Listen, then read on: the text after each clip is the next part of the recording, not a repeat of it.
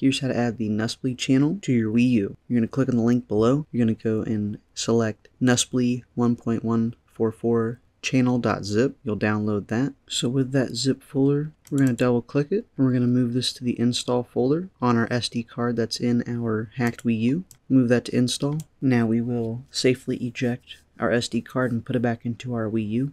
We're going to open up the WUP Installer GX2. We're going to go to NUSspli, install it, and say yes. I'm just going to choose USB. Now we can go to the home menu And now you can use NUSspli. Thanks for watching.